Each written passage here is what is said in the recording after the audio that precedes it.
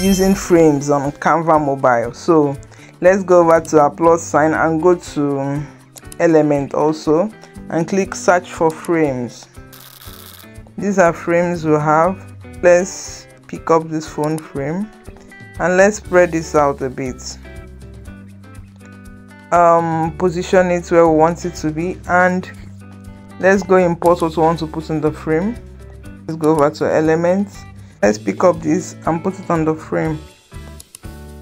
Also pick what we want to put on the frame. This is the video we want to put on the frame. We drag and drop it into the frame. And let's play. You see that? You can maximize frames for videos. You can also do it for your pictures.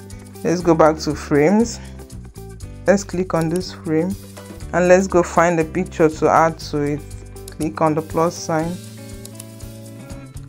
Let's put this picture into this place. You see that you can double tap the picture and drag it down.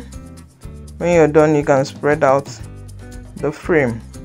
So these are what you can use frames to do on your design